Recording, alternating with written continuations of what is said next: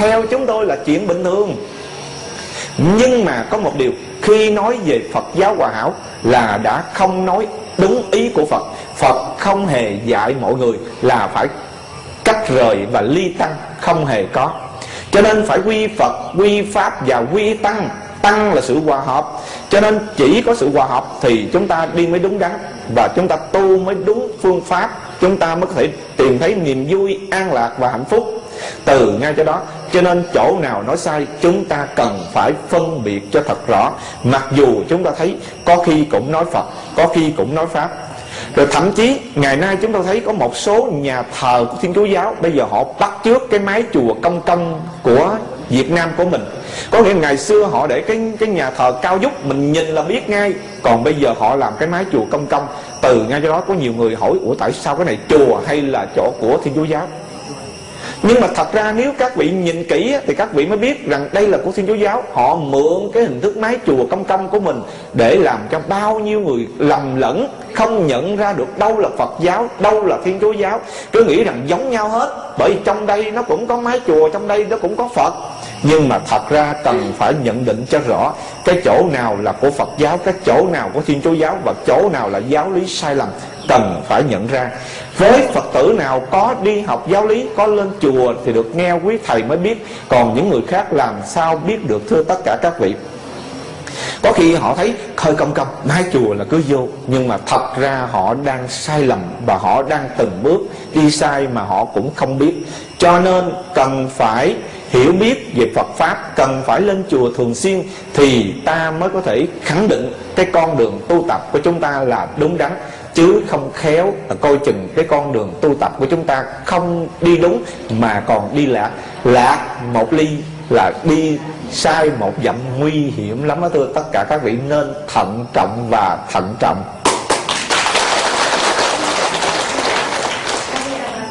Có một câu hỏi của cô này là cô uh, rất là ham tu và mỗi buổi sáng đều có công phu. À, nhưng mà có một điều rất là trái ngược rằng mình thì theo đạo Phật còn người thân của mình lại theo đạo công giáo. Như vậy thì vấn đề là bây giờ à, cô muốn à, uh, kéo người đó quay trở về bằng cách là hồi hướng công đức. Như vậy thì người đó có nhận được hay không? Xin thưa rằng người đó sẽ nhận được. Người đó đang theo đạo công giáo có nghĩa rằng đang đi lạc đường. Và mỗi một cái công đức mà ta đang hồi hướng đó là tiếng gọi từ trong thâm tâm, hãy quay trở về, hãy quay trở về. Và chắc chắn một ngày nào đó, người này sẽ nhận ra. Và người này nhận được công đức, và người này sẽ quay trở về với con đường của Phật giáo. Trong tương lai sẽ được kết quả. Dạ vâng đó là điều mà chúng tôi à, xin chia sẻ. Vấn đề là ông bà già xưa hay là phật tử à, nào mà già cả, thường hay thấy con cháu của mình mà đeo tượng phật, thường hay nói câu đó.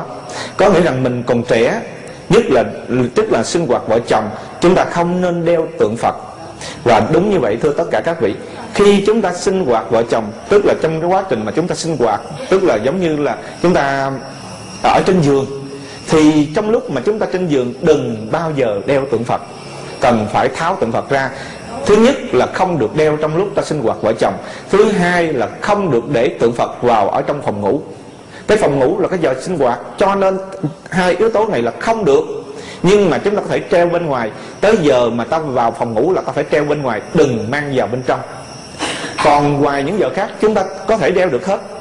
Chứ không có nghĩa là vợ chồng trẻ không được đeo. Có nghĩa là các vị vẫn được đeo. Nhưng mà khi vào bên trong phòng ngủ để sinh hoạt vợ chồng là không nên. Là không nên. Và tượng phật cũng không được treo ở trong phòng. Trong cái phòng ngủ. Có nghĩa là nếu như một người nào thanh tịnh như một nhà sư thì có thể ta treo, tại ta không có sinh hoạt. Ta không có sinh hoạt về vợ chồng. Cho nên ta có thể treo trong phòng ngủ để ta vừa ngủ, ta vừa niệm phật, có đó vẫn tốt như thường. Cho nên không vấn đề gì. Chỉ có cái là khi chúng ta đang đeo mà sinh hoạt vợ chồng trẻ là không nên. Cái chỗ này sẽ mang tội. Mang tội này gọi là tội kinh mạng. Tội này gọi là tội phỉ bán. Mặc dù trong lòng chúng ta không có, nhưng mà chúng ta đã quên cho nên cái chỗ này cần phải thận trọng. Bởi vì sự thận trọng đó sẽ đem lại phước cho mình. Mình tu bao nhiêu phước thì phước sẽ còn nguyên. Còn ngược lại, người tu thì cũng có, phước cũng có, mà tội cũng có. Cho nên cuối cùng phước nó bị rớt từ từ từ từ. Cho nên uổng lắm thưa tất cả các vị. Cần hãy gìn giữ cái công đức của mình. Đừng cho nó chảy mất. Chẳng hạn như thỉnh thoảng, các vị sẽ thấy các sư khi khi mà lên làm lễ trên chánh điện, đều đắp y cà sa. Các vị có thấy y cà sa không? Dạ. Yeah. y cà sa đó các vị có thấy rằng chiếc y đó được xẻ ra làm nhiều cái mảnh ừ, nhiều điều không? Và mỗi một điều đó các vị thấy Người mới tu là nó sẽ ít điều Từ 9 điều, 11 điều. Còn người nào mà tu mà lâu Thì lúc bấy giờ nó sẽ lên 17 điều, 19 điều. Rồi đối với quý hòa thượng Là nó còn chia nhỏ nhỏ nhỏ nữa Trở thành 25 điều, 21 điều 25 điều. Như vậy thì cái chia nhỏ chia lớn như vậy để làm gì? Các vị có biết không? Ở chỗ đất của mình ở đây có trồng ruộng không? Có lúa không? Dạ Thường thường những người trồng ruộng, làm lúa họ có kinh nghiệm lắm thưa các vị. Tức là khi gieo mạ, lúc bấy giờ là họ sẽ đắp thành những bờ nhỏ ở trong cái đám ruộng đó nhiều lắm thưa các vị. Bờ nhỏ quá xá luôn. Như vậy thì một câu hỏi được đặt ra, đã đám ruộng chung quanh là đã có bờ be rồi. Như vậy thì làm thêm nhiều bờ nhỏ để làm gì? Dạ đúng cô này có kinh nghiệm tức là làm cái bờ nho nhỏ như vậy là để giữ nước. Nếu các vị không làm những bờ nhỏ đó, xin thưa nước vừa mới đổ ngày hôm nay, ngày mai không còn biến. nhưng mà nếu người nào làm bờ nhỏ nhỏ nhỏ như vậy, thì lúc bấy giờ nước bốc hơi, nó sẽ chậm đi. Và từ ngay cho đó, cho nên nó giữ được 3 4 ngày. Rồi sau đó ta mới tiếp tục để bơm nước vào. Cho nên làm bờ càng nhỏ, nước bốc hơi càng chậm. Mà làm bờ lớn thì bốc hơi càng mau. Từ ngay cho đó, cho nên cái đám ruộng nó được nằm ở trên một cái lá y cà sa của tất cả các thầy và các cô. Có nghĩa rằng trên đó là đám ruộng, nhưng mà ruộng này không phải là ruộng thế gian, mà là ruộng công đức. Cho nên các thầy phải mặc chiếc y đó để nhớ rằng mình đang có công đức, và đó là đám ruộng công đức. Cần phải be bờ cho nhiều để giữ nước công đức. Đừng để cho mình tu được bao nhiêu, cần phải giữ lại, chứ không thì nó chảy nước công đức hết. Cần phải gìn giữ. Đối với người tu đắp y cà sa, đó là một trong những hàng rào chắn và khuyên người đó phải cố gắng để mà tu tập. Đừng bao giờ làm bất cứ một tội lỗi nào, bởi vì một tội lỗi dù nhỏ là một cái lỗ thôi, nhưng mà nước nó sẽ chảy ra ngoài hết. Cho nên phải cố gắng gìn giữ công đức của chính mình từ ngay chỗ đó, cho nên đối phật tử cũng vậy. Chúng ta tu chưa được bao nhiêu, thỉnh thoảng ta lên chùa ta mới tụng kinh, thỉnh thoảng ta lên chùa mới niệm phật. Mà nếu các vị mà có những lỗ mọt, mà có những cái điểm mà chúng ta tu sai, thì xin thưa coi chừng, nó chảy hết, không còn miếng công đức nào. Uổng lắm nó thưa tất cả các vị. Cho nên hãy thận trọng và hãy cố gắng niệm phật, tụng kinh cho nhiều để mà chúng ta bù lại lỡ như nước có chảy mất thì chúng ta còn lại số khác, còn không là nó sạch, sành, xanh. Dạ mời cô lên đây. Cô hỏi là hiện nay là cô à, có người thân, một người thân thì à, tu theo tịnh độ, một người thân thì tu theo khất sĩ. Như vậy thì à, giữa hai cách tu đó có khác nhau hay không? Xin thưa là với cách tu, cách tu mà có thể là tịnh độ một bên có thể là khất sĩ điều này không ảnh hưởng gì cả. Tất cả đều là tu theo phật cái quan trọng là xác định là tu theo phật là tu đúng. Tu đúng và đặc biệt là ở tại việt nam của mình có tất cả là ba cái hệ phái ba hệ phái tu theo phật. Trong khi ở các nước á, thì chỉ có thể một hệ phái thôi chẳng hạn như ở nước trung quốc thì chỉ có một hệ phái là bắc tông ở bên thái lan á, thì chỉ có một hệ phái thôi đó là nam truyền hay là nam tông hay còn gọi đó chính là những vị tu theo nguyên thủy. Nhưng mà ở đặc biệt ở Việt Nam thì tới ba hệ phái. Tại vì phía Bắc ảnh hưởng của Trung Quốc cho nên ta có hệ phái Bắc truyền. Ở phía Nam của Việt Nam thì do ảnh hưởng của Thái Lan cho nên ta có Nam truyền và sau khi Bắc Nam truyền gặp nhau lúc bây giờ lại sinh thêm một cái hệ phái thứ ba nữa đó là khất sĩ tức là trộn lẫn giữa mang chiếc y mang y quấn của Nam truyền nhưng mà học kinh là của Bắc truyền cho nên đó là phái khất sĩ. Phái khất sĩ là mặc y á, mặc đồ á, là theo kiểu của Nam truyền là y quấn. Và nhưng mà học kinh lại là học kinh của Bắc truyền từ ngay cái đó cho nên tại Việt Nam chúng ta tới ba hệ phái tu theo Phật.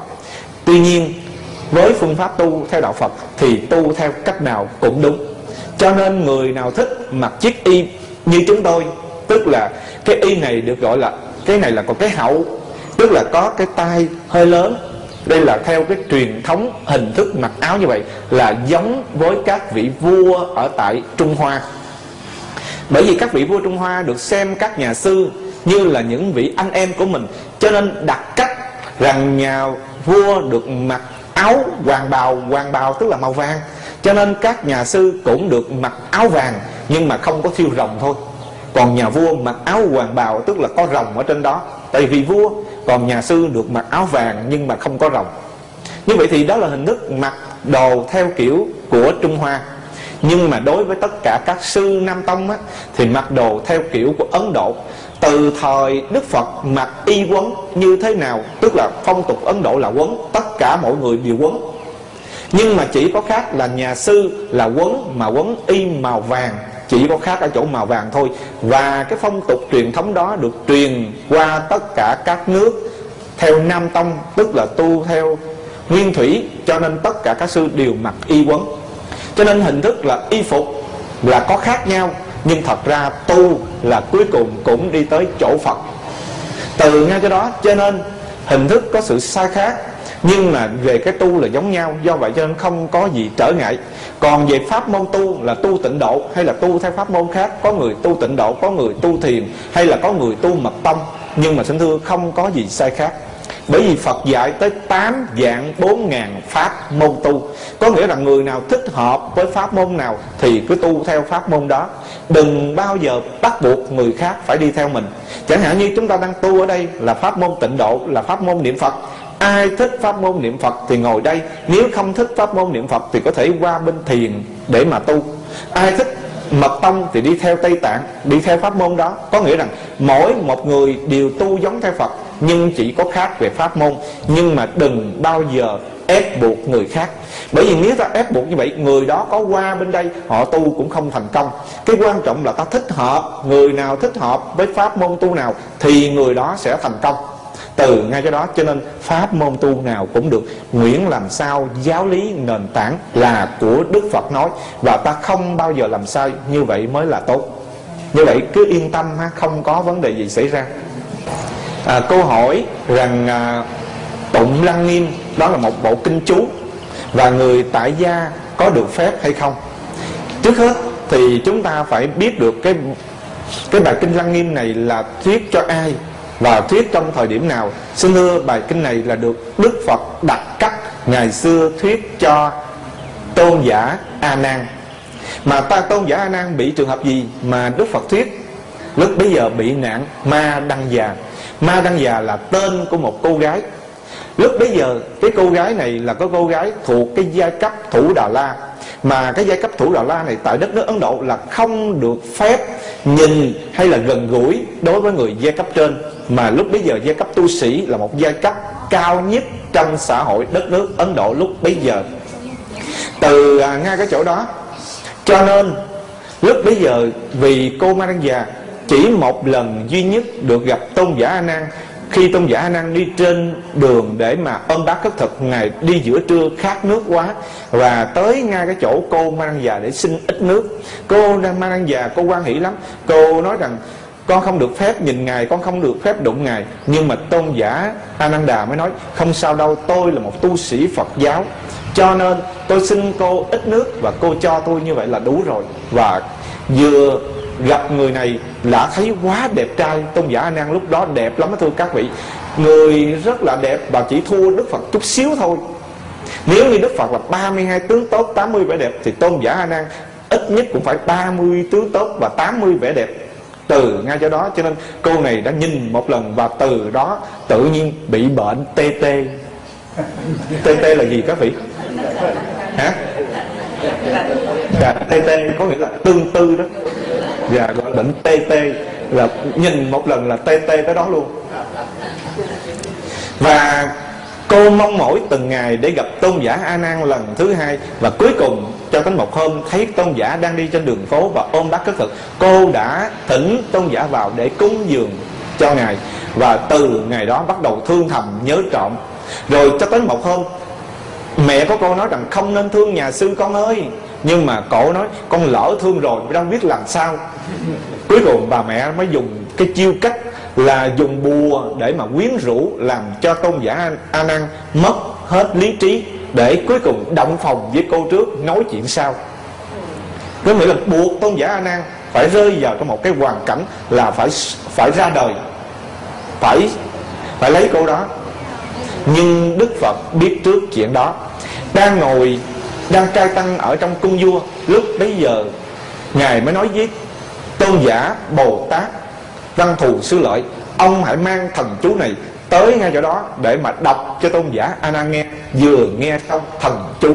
Lúc bấy giờ, bao nhiêu cái bùa chú của bà la môn đó, của cái vị đó, tất cả đều tan biến. Và tôn giả a nan sự tỉnh lại, không còn bị mơ mộng nữa. Và thấy cái y cà sa mình đã rớt ra ngoài rồi. Còn cái y hậu bên trong thôi nhưng mà rớt ra nữa thì không biết làm sao. Và rất là may mắn, sau đó tôn giả đang vội giả cầm cái lá y của mình và chạy ra khỏi nhà cô gái và về tới nhà. Về tới chùa tịnh sát vị viên gặp phật và khóc quá sát nếu không nhờ phật cứu thì con đã tiêu tục rồi. Nói như vậy, có nghĩa là thần chú lăng nghiêm, đó là một trong thần chú có khả năng giải hết tất cả mọi cái bùa chú của thế gian. Nếu người nào mà chúng ta rơi vào một trong những hoàn cảnh bị bùa chú của thế gian làm chúng ta điên đảo tâm thần, thì hãy cần bùa chú của lăng nghiêm. Và bùa chú lăng nghiêm này không phải là một đặc quyền của tất cả các nhà sư, mà phật tử cũng bị bùa chú bên ngoài vậy, cho nên họ cũng có thể sử dụng nếu như phật tử nào không biết sử dụng thì lên đây, quý thầy cũng phải tụng thần chú lăng nghiêm để mà giải dùm cho tất cả các vị. Nếu phật tử mà có thể tụng thần chú lăng nghiêm mỗi ngày, xin thưa trong cuộc đời của các vị, không ai hại được tất cả các vị. Chẳng những không hại được mà tinh thần vô cùng tỉnh táo, vô cùng tỉnh táo. Cho nên các vị có thể tụng thần chú lăng nghiêm tại nhà mỗi ngày của các vị vô cùng có lợi ích. Nhà đó được yên ổn bởi vì nhà đó không có quỷ thần nào vào trong nhà để phá mình được. Không có bệnh không có đau bất tử. Cho nên cần phải nên tụng lăng nghiêm mỗi ngày đó thưa tất cả các vị. Vâng đó là điều mà chúng tôi xin chia sẻ cho tất cả các vị. À, câu hỏi này à, nhiều người cũng đang muốn hỏi. Có nghĩa rằng à, trong trường hợp là chúng ta đốt hương và đốt như thế nào? Có nhiều người nói đốt cũng được, không đốt cũng được. Như vậy thì vấn đề là thế nào được gọi là không đốt và thế nào được gọi là đốt? Cho nên câu hỏi này rất là hay thưa tất cả các vị. Và câu trả lời chúng tôi là nên đốt hương mỗi ngày. Nhưng mà vấn đề là nếu ta đốt hương nhiều quá thì có nên hay không? Xin thưa cũng không nên. Khối bay nghi ngút và đốt nhiều quá có khi nó sẽ bị cháy tất cả những cái tàn nhang phía dưới. Như vậy thì cuối cùng là nó sẽ gây ra quả quạng cho nên nhiều người họ sợ quả quạng họ sợ khối cho nên họ kêu mình ít ít ít thôi. Có nghĩa là không phải là không đốt, mà ít ít thôi. Chỉ cần đốt một cây, hương nó bắt đầu lan tỏa là tốt rồi. Không nên đốt quá nhiều. Có nhiều người tưởng là đốt nhiều phật mới chứng. Trời ơi, không phải đâu, thưa các vị không phải ngay chỗ đốt nhiều phật mới chứng. Các vị phải nên lưu ý, chỉ cần một cây nhang cho ấm lòng và ta tưởng nhớ. Còn có một điều quan trọng hơn và nó có năm loại hương. Quan trọng mà cây hương đó mới cần đốt nhiều nhất mà chúng ta lại không đốt. Mà chúng ta chỉ đốt hương thế gian thôi. Hương thế gian chỉ cần đốt một cây, nhưng chúng ta cần phải thắp lên tiếp tục năm loại hương khác. Hương đó là gì? Để gọi đó là ngũ phần hương. Hương đó chính là giới hương. Hương đó chính là định hương. Hương đó gọi là tuệ hương. Hương đó được gọi là giải thoát hương. Hương đó được gọi là giải thoát tri kiến hương. Và năm loại hương đó phải đốt mỗi ngày. Phải đốt mỗi ngày. Giới hương là gì? Là khi chúng ta trở thành phật tử, chúng ta được năm giới. Các vị cố gắng giữ gìn năm giới đó mặc dù ta lên chùa, ta giữ năm giới, ở nhà ta cũng giữ năm giới, và chỗ nào chúng ta cũng giữ. Và khi chúng ta giữ gìn như vậy là ta đang thắp lên cho mình một nén hương giới hương đó thưa các, tất cả các vị. Và nén hương đó là nén hương thơm nhất thơm nhất. Tại sao gọi thơm nhất? Chẳng hạn như chúng ta đã từng nghe Phật dạy một câu trong kinh pháp cú thế này hương các loài hoa không ngược bay chiều gió, nhưng hương người đức hạnh ngược gió khắp tung bay. Cho nên cái hương này nó bay ngào ngạt khắp cả các phương. Thậm chí ngược chiều gió nó cũng bay tới. Còn hương thế gian, dù cho có thơm cỡ nào đi chăng nữa, nhưng nó cũng bay theo chiều gió thôi. Còn hương người đức hạnh là gì? Là người có giữ giới. Hương này sẽ bay ngào ngạt khắp cả muôn phương cho nên hương này vô cùng quan trọng, cần phải giữ giới hương. Và từ cái giới hương, các vị phải niệm phật thường xuyên để từ đó có định hương mà niệm phật, một thời gian các vị sẽ sinh ra tuệ giác. Như vậy đó chính là tuệ hương. Mà từ cái tuệ hương, các vị sẽ được giải thoát, các vị được tự tại, các vị thông dâm. Đó là giải thoát hương. Mà khi giải thoát hương rồi, các vị còn đem cái những cái điều mình học được từ nơi Phật pháp, nói cho mọi người cùng nghe, nói cho mọi người cùng biết. Có nghĩa rằng ta đã thành tựu thêm được cái hương thứ năm, đó là giải thoát tri kiến hương. Cho nên đây là điều mà tất cả mọi người nên đốt năm cái hương đó. Còn cái hương thế gian chỉ cần đốt một cây là đủ. Còn một ai đó mà kêu chúng ta đừng đốt là bởi vì khi ta lên chùa, nhiều người đốt rồi, cho nên mình lấy cái cây hương của người ta làm cây hương của mình, không cần phải đốt thêm. Không cần đốt thêm. Có người đại diện cho mình được rồi. Nhiều nhiều người không chịu. Tôi đốt khác với người kia nhưng mà không khác đâu, thưa các vị. Người nào đốt là kể như đã đốt dùm cho mình. Bây giờ mỗi người cần phải đốt cho mình, đó là năm loại ngũ phần hương thôi. Cái đó mới là điều quan trọng. Cho nên niệm phật thật nhiều, đó là đang đốt hương. Người nào niệm phật nhiều là đang đốt hương, đó là người đang tu tập. Còn nếu chúng ta không chịu niệm phật mà đốt hương cho nhiều, xin thưa kết quả cũng không có cao. Cho nên chỗ này chúng ta cần phải lưu ý ha khi chúng ta niệm Phật, ở trên chùa thì cốc cốc chen chen, về nhà, bây giờ có nhiều người, đâu phải ai cũng thuận lợi là cũng có được chuông mỏ, rồi cũng được nhiều người trong nhà hộ trì và đồng ý. Cho nên có nhiều cô, mặc dù tu ở đây thì được, nhưng mà về nhà là chồng không cho. Và thậm chí là chúng tôi còn biết có nhiều người đến chùa còn trốn ông chồng đi nữa. Ủa, có nữa hả? Ôi trời ơi, chứ tôi tưởng nói gì ở đạo tràng khác đạo tràng này không có có luôn đó hả? Mày ơi như vậy là khó khăn lắm đó thưa tất tất cả các vị. Và với trường hợp này chúng tôi khâm khen những ai dám trốn để mà đi. Nhưng mà mặc dù ngồi đây nhưng mà cũng hồi hộp lắm. Bữa về không biết có chuyện gì không. Nhưng nhưng mà xin thưa các vị các vị yên tâm đi. Vị nào tu ở đây tới ngày về có phật hộ tống về. Cho nên không có vấn đề không có vấn đề gì, các vị không lo. Bởi vì có phật hộ tống, phật bận thì phật sẽ nói, bồ tát đi. Mà nếu phật, bồ tát bận, phật sẽ nói, tôn giả a nan đi. Cho nên có người hộ tống các vị về, các vị cảm thấy về rất an lành và không có chuyện gì xảy ra. Nhưng mà chúng tôi chỉ nói một điều, ở đây là người nhà chưa đồng tình, chưa thấy rõ lợi ích khi chúng ta đi chùa và niệm phật như thế nào từ ngay chỗ đó cho nên họ chưa đồng tình. Và đã chưa đồng tình, mình đã trốn đi rồi. Thế mà còn về sống chung, sống mỏ lại càng khó. Từ ngay chỗ đó cho nên họ không cho mình niệm phật ở tại nhà, cho nên có nhiều cô khổ lắm. Con muốn tu, nhưng mà người nhà không cho con tu, ông chồng không cho con tu. Như vậy thì con phải làm sao? Xin thưa, không ai cấm mình tu được đâu thưa các vị. Không ai cấm mình niệm phật được đâu thưa tất cả các vị vì mình niệm phật có chung có mỏ cho nên ông chồng ông thấy ông mới cấm. Còn bây giờ mình niệm phật không chung có mỏ thấy đâu cấm. Đúng không? Niệm phật trong lòng thôi. Mình đừng gõ chuông cũng đừng gõ mỏ phật không có rầy đâu thưa các vị mà phật còn quan hỷ nữa. Phật còn quan hỷ cho nên chỉ cần nếu người ở bên ngoài họ chưa đồng ý cho mình gõ chuông gõ mỏ thì mình đọc thành không cho mình ngồi trước tượng phật thì mình ngồi ở trong bếp mình ngồi ở công viên, mình ra đồng, mình mình ngồi mình niệm phật. Trầm cái lúa xuống, niệm câu nam mô a di đà phật. Ai biết? Xin thưa, ai cấm được các vị? Không có bất cứ người nào cấm được tất cả các vị. Cho nên cứ niệm phật niệm phật bất cứ nơi đâu. Thậm chí có người hỏi, thưa thầy, con niệm phật trên đường đi có được hay không? Tức là từ nhà con lên đây gần mấy chục cây số và trên đường đi con vừa đi, mỗi một bước con niệm nam mô a di đà phật. Bước thêm bước nữa, nam mô a di đà phật. Giờ con vừa đi vừa niệm phật, vừa đi vừa niệm phật. Có được hay không? Được không, thưa các vị? Quá được luôn chứ cho nên các vị đi kinh hành ở đây niệm phật thế nào? Trong lúc các vị trên đường về, các vị cũng niệm phật y chang. Đường càng xa, phước đức càng lớn.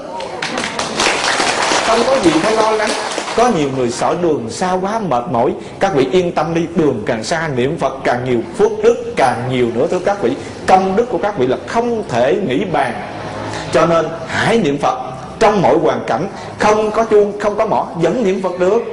Và tất cả mọi người không ai cấm mình được, cuối cùng mình vẫn có phước đức. Cho nên nên làm như vậy. Cái câu hỏi này nó cũng là câu hỏi của nhiều người. Có nhiều người tu nhưng mà rất là quan mang. Quan mang ở chỗ rằng tại sao chúng ta ừ, phải học kinh mà trong khi đó hòa thượng dạy khỏi cần phải đọc kinh? Và lời dạy của hòa thượng tịnh không giống như lời dạy của hòa thượng từ thông. Không biết các vị có nghe hòa thượng từ thông giảng lần nào chưa? Dạ. Hòa thượng từ thông nói rằng không cần đi chùa, không cần gõ mỏ không cần tụng kinh. Hòa thượng dạy vậy đó. Cho nên nhiều người quan mang lắm. Mình đang đi chùa mà hòa thượng kêu đừng có đi chùa như vậy thì hòa thượng dạy vậy có đúng hay không? Có nhiều người phật tử cũng đã đến hỏi chúng tôi. Và ở đây ta thấy câu nói của hòa thượng tịnh không cũng gần gần na ná tương tự như vậy. Không cần phải học thêm kinh, chỉ cần niệm phật là đủ rồi. Như vậy thì vấn đề là ở đây chúng ta đang học kinh, có nên tiếp tục học kinh hay không, hay là vứt hết tất cả để rồi chúng ta niệm phật mà thôi? Xin thưa, đây là một trong những điều mà chúng ta cần lưu ý như thế này. Hòa thượng và hòa thượng từ thông và hòa thượng tịnh không là hòa thượng đang nói như vậy là chỉ chúng ta đi vào trong pháp hành. Về pháp của phật có hai phần. Một là pháp học, thứ hai là pháp hành.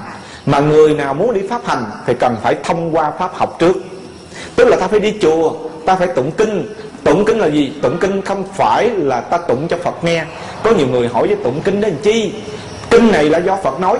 Thế mà ta lên chùa, ta ngồi, ta tụng kinh lại cho phật nghe. Nhưng mà có đúng hay không? Nhưng mà chúng tôi hỏi các vị, chứ trong lúc các vị tụng kinh là cho ai nha ai nghe thưa các vị? Mình nghe, chứ không phải là phật nghe đâu. Cho nên ai nói lên chùa tụng kinh để cho phật nghe là hoàn toàn không đúng. Mà tụng kinh cho mình nghe nghe để làm gì? Hiểu lời của phật. Để rồi hiểu rồi, ta mới bắt đầu đi vào con đường thực hành cho nên có hai pháp mà phật dạy giữa thế gian. Trước hết là phải có pháp học.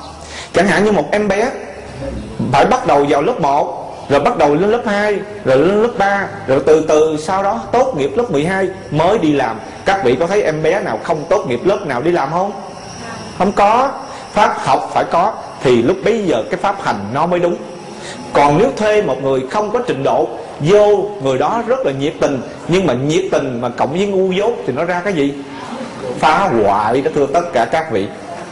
Đúng không? Từ ngay cái chỗ đó, cho nên cần phải đi vào trong pháp học trước. Học cho đến nơi, cho đến chốn sau đó bước qua pháp hành thì hành mới đúng lời phật dạy.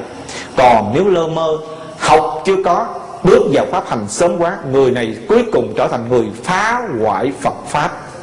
Phá hoại phật pháp bởi vì chỉ có hành thôi, chỉ có niệm phật. Nhưng mà niệm phật một thời gian rồi cuối cùng tư tưởng lung tung nó sẽ hiện ra. Và lúc bây giờ tư tưởng lung tung hiện ra, lúc đó ta không biết lấy cái gì để chế ngự cái tư tưởng sai lầm đó. Cho nên càng niệm phật nhiều. Nhưng mà cuối cùng không cảm thấy an lạc. Từ ngay cái đó cho nên bắt đầu nói với người khác, niệm phật không kết quả đâu, tôi niệm 10 năm rồi nè. Mà cuối cùng không thấy kết quả, bởi vì học chưa đến nơi, chưa đến chốn. Cho nên thực hành cái pháp hành nó bị sai. Từ ngay cái đó cho nên chúng ta cần phải đi từng bước từ pháp học cho tới pháp hành. Và câu nói của hòa thượng tịnh không cũng như qua câu nói của hòa thượng từ thông là đang nói cho những người đã xong phần pháp học mà bây giờ đang bước vào pháp hành. Còn nếu như ai chưa tới tốt nghiệp 12 và chưa tốt nghiệp đại học là ta phải đi học lại từ đầu đừng nên nghe như vậy. Rồi cuối cùng bỏ hết. Rồi cuối cùng đi làm. Không ai nhận đâu, thưa các vị. Không có cơ quan nào nhận người học lớp 2 mà vô đi làm. Không dám đâu. Người đó vô quậy còn hơn cái đó nữa. Cho nên cần phải lưu ý, thưa các vị. Chúng ta phải phải hiểu rõ lời Phật dạy. Và từ đó ta hiểu rõ rằng tại sao hòa thượng nói như vậy. Hòa thượng nói như vậy không phải là sai. Hòa thượng đang nói pháp học cho những người đã, đang nói pháp hành cho những người đã học xong. Đã học xong rồi, từ ngay cho đó. Cho nên cần hiểu như vậy thì ta mới không phỉ bán lời dạy của hòa thượng. Nếu người nào mà không không hiểu được chỗ này và phỉ bán, hòa thượng nói sai, coi chừng tổ nghiệp đó thưa các vị mất phước, nước công đức sẽ bị chảy ra ngoài cho nên chớ có nên nói nếu điều gì ta chưa hiểu mà cứ ghi nhận ở đó rồi sau đó gặp thầy hay gặp cô để mà chúng ta hỏi lại cho nó chắc ăn. Nhớ lưu ý những điều như vậy. Hỏi của cô chúng tôi tóm lại hai câu, chỉ có một cái mục đích, đó là giảng sanh tây phương cực lạc, đúng không? Đọc kinh gì để cuối cùng để được giảng sanh. Và ở nhà thì không đi chùa và chỉ có đọc kinh thôi, cũng cầu ngay cái chỗ giảng sanh. Xin thưa, cái chữ giảng sanh tây phương cực lạc, đây chính là mục đích của nhiều người. Có nghĩa rằng giảng sanh là gì? Giảng sanh là là giống như là đưa qua, tức là ta sẽ về nơi cõi tây phương cực lạc an lành. Nhưng mà vấn đề là, làm thế nào để được an lành, để được về tây phương cực lạc? Và tụng kinh gì? Xin thưa, ở đây tất cả các kinh đều về tây phương cực lạc hết. Nhưng mà nếu mà nói kinh này về tây phương cực lạc, kinh kia cũng về tây phương cực lạc, như vậy thì có cái gì sai khác? Xin thưa, sai khác ở chỗ nhanh hay chậm mà thôi. Có người tụng kinh một thời gian là được về tây phương, có người tụng kinh mấy năm rồi không thấy gì hết. Lý do tại sao? Bởi vì ta cần phải nhớ thêm, trong kinh a di đà có nói một câu như thế này người nào sắp mạng chung chỉ cần niệm phật từ một tiếng cho tới 10 tiếng. Với điều kiện nhất tâm bất loạn thì sẽ về tây phương. Không cần niệm niệm nhiều. Có khi có người niệm 10 năm, nhưng mà vẫn không thành tựu được nhất tâm bất loạn. Có về được tây phương không? Vẫn không được về tây phương cực lạc. Cho nên chỗ này ta cần phải lưu ý là nhất tâm bất loạn cái chỗ nhất tâm bất loạn là yếu tố quan trọng để về tây phương cực lạc. Cho nên tụng bất cứ bản kinh nào cũng về tây phương hết. Quan trọng là trong lúc chúng ta tụng kinh, hãy đưa tâm chúng ta tụng kinh. Và ta đưa thân chúng ta tụng kinh, ta đưa miệng chúng ta tụng kinh, nhiếp tâm vào trong đó để được nhất tâm bất loạn. Khi nào nhất tâm bất loạn là ngày đó về tây phương cực lạc. Ta sẽ được giảng sanh cho nên nói về kinh, tất cả các kinh bản kinh di đà cũng được, bản kinh vô lượng thọ cũng được, hay thậm chí tụng kinh pháp hoa cũng được về. Chứ đừng nói rằng ai mà chê kinh này mới được về, kinh kia không được về, coi chừng nói sai lời của phật. Rồi thậm chí có người có người nói thế này nè, người nào niệm phật thì mai mốt về tây phương được phật a di đà rước, còn người nào mà nếu tu thiền, mai mốt đi đâu? Rồi mai mốt người mà tu mật tông, mai mốt đi đâu? Cho nên có nhiều người nói, tu mật tông không biết về đâu, tu niệm phật mới được về tây phương. Có người hỏi như vậy nữa. Xin thưa, nói vậy có đúng không, thưa các vị? Dạ không đúng. Như vậy theo các vị người tu thiền, mai mốt đi đâu? Hả? Người tu mật tông mai mốt đi đâu?